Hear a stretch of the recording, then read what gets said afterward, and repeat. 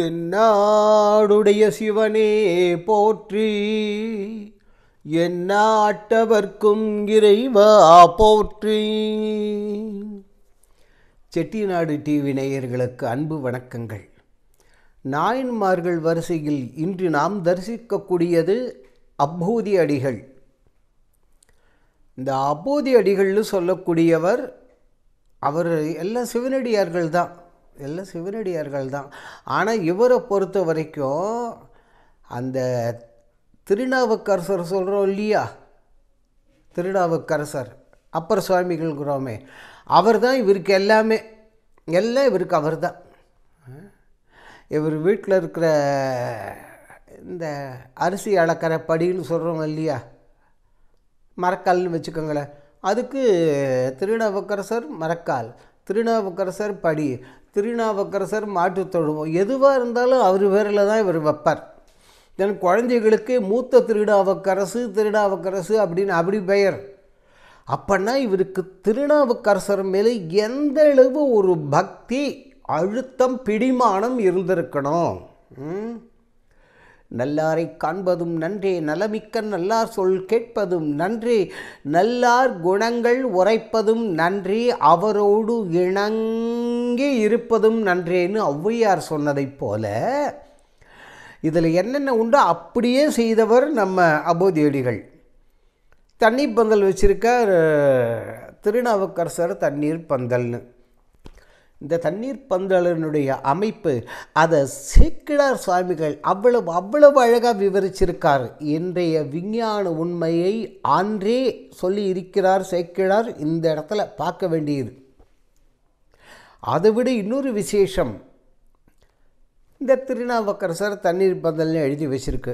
நினைவில் வச்சுக்கோங்க அபூதியடிகள் திருநாவுக்கரசரை முன்னுக்கு பின் இதுவரைக்கும் பார்த்ததே கிடையாது பார்த்தது கிடையாது. அவருடைய செயல்களை பெருமையை காதில் கேட்டு கேட்டு கேட்டு கேட்டு என் வாழ்க்கையே திருநாவுக்கரசர் தான். அப்படிங்கிற அளவுக்கு உயர்ந்த எண்ணம். திருநாவுக்கரசர் தண்ணீர் பந்தல்ங்கிற அந்த பேரை பார்த்த உடனே நம்ம திருநாவுக்கரசர் என்ன பண்ணினா யார் இந்த இது? அங்கே வேலை செய்கிறவர் ஆட்கள்லாம் சொன்னார்கள். இவர் நேராக இப்போ அங்கே போயிட்டார். யார்? திருநாவுக்கரசர் அபூதியடிகள் வீட்டுக்கு போயாச்சு. போயிட்டார். போனால் ரெண்டு பேர்லாம் சிவனடியார் வே வந்திருக்காரு சிவனடியார் வேஷம் தானே? அந்த வடிவம் பார்த்த உடனே விழுது நமஸ்காரம் பண்ணி அப்போ இதில் நிகழ்வர் மனைவி குழந்தைங்க எல்லாம் எழுந்து நின்னாச்சு. ஆ சிவனடியார் சிவனடியார் அப்படின்னு. இப்போ பேசிட்டு இருந்தபோது நம்ம திருநாவுக்கரசர் கேட்குறார் நீவிர் செய்த தண்ணீர் பந்தலில் நும் பேர் இடாது. என்னய்யா என்னய்யா அது? தண்ணி பந்தல் வச்சது நீங்கள் அந்த தண்ணீர் பந்தலில் உங்கள் பெயர் வைக்காமல் வேறு ஒரு பெயர் இடக்காரணம் என்ன வேறு யார் பெயரையோ வச்சுருக்கீங்களே என்ன காரணம்னார்? இவ்வளவுதான் அவர் கேட்டது. ஒன்றும் தப்பே கிடையாது. திருநாவுக்கரசர் கேட்டதில். இதை கேட்ட உடனே எங்கேருந்து தான் அப்போதி அடிகளுக்கு அவ்வளவு கோபம் வந்ததோ தெரியல தெரியல. ம்? பொங்குகடற் கண் மிதப்பில் பொந்தேறும் அவர் பெருமை அங்கனர்தம் புவனத்தில் அறியாதார் யார் உளரே? மங்களமாமி வேடத்துடன் இன்று வகை மொழிந்திரு எங்குறைவீர்?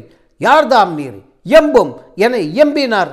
என்னையா தமிழ் என்னையா தமிழ்? இதுக்குன்னாவது இதெல்லாம் இப்போ படிக்கக்கூடாதா? கச்சடத்தப்படுற வல்லினம் இதெல்லாம் சொல்லுவோமே. இந்த பாடல்களில் அந்த அபுதர்களுடைய கோபத்தை அப்படியே அவர் என்ன பேசினாரோ அதிகமான வல்லின எழுத்துக்களை வைத்து சேர்க்கிறார் சுவாமிகள். இந்த கோப உணர்ச்சி அப்படியே வெளிப்படுத்தியிருக்கிறார் பாருங்கள். பொங்குகிடர் கண்மிரப்பில் போந்தேறும் அவர் பெருமி அங்கனர்தம் புவனத்தில் அறியாதாரி யார் உளரும் மங்களமாமி வேடத்துடன் இன்று வகை மொழிந்திரு எங்குறைவீர் யார்? யாத்த போச்ச ஒரே கூச்சல் தான்.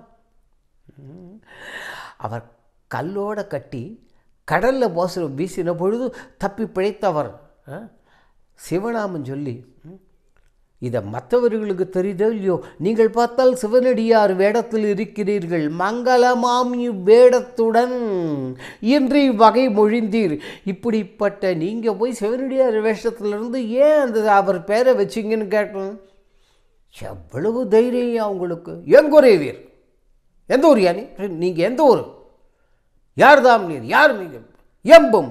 எம்பும்னா சத்தமாக பேசுறது. தெரியுறதா சத்தமாக சொல்லு அப்படின்னு இவர் சத்தமாக கேட்குறாராம் அப்பன்னா இவருக்கு எந்த அளவு திருநாவுக்கரசர் மேலே பிடிமானம்? அது மட்டும் அல்ல. நல்லவர்களை பற்றி தெரிந்து கொள்ளாமல் இருப்பது எவ்வளவு பெரிய அவமானம் அது எவ்வளவு பெரிய தப்புங்கிறதையும் இங்கே அப்போதி அடிகள் வாயிலாக செக்கிலார் சுவாமிகள் நமக்கு பதிய வைக்கிறார். தயவு செய்து நல்லவர்களை பற்றி நல்லவைகளை பற்றி தெரிந்து கொள்ள வேண்டியது நம்முடைய கடமை. இப்படியெல்லாம் இவர் சொல்லி அபுதடிகள் இவ்வளோ கோச்சி பேசின உடனே அந்த சூளை மடுத்து இந்த சூளை நோய் கொடுத்து தடுத்து ஆண்டார் இல்லையா சிவபெருமான்? ஆமாம் அப்படி தடுத்து ஆட்கொண்ட சிறுமையே யான்? அவர் கொதிச்சு எழுந்து கொட்டியிருக்கார்.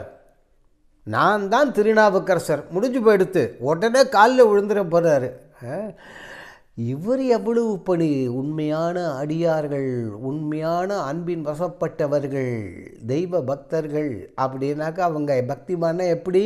அந்த பணிவு.